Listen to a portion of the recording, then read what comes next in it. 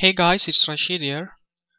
Uh, this video I'm gonna show you how you can check your BSNL bill status through online. Uh, BSNL provides a self-care website not to check your uh, BSNL landline and uh, broadband account status. Just visit selfcare.sdc.bsnl.co.in.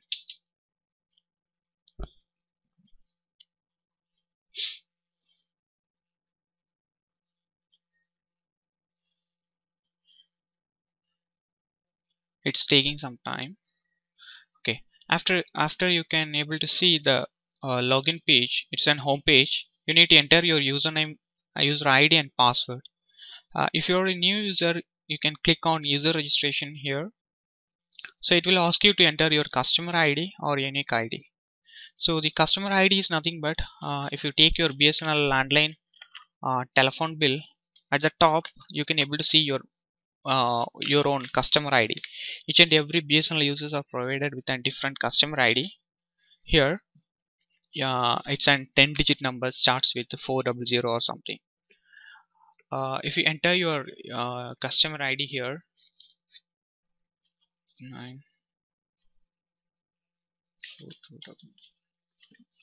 so then enter your user ID uh, then your password any of your password. So the user ID is nothing but you can say select your own user ID and choose some of your uh, challenging question or something. It's a security question.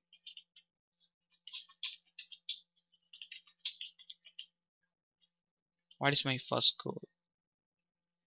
Um, uh, give some troubleshooting answers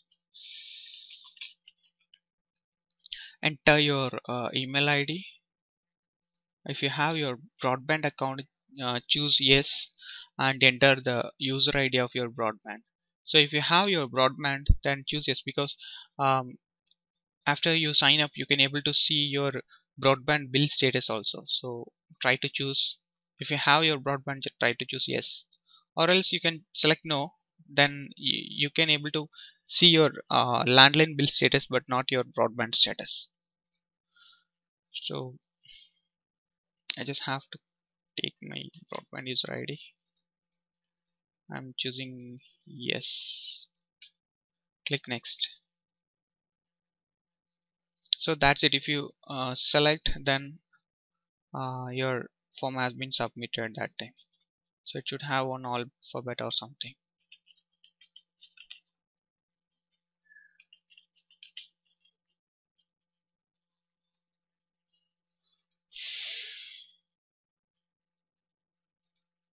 so actually as I as I already have my own uh, account associated with BSNL ID I can't able to re-register re again.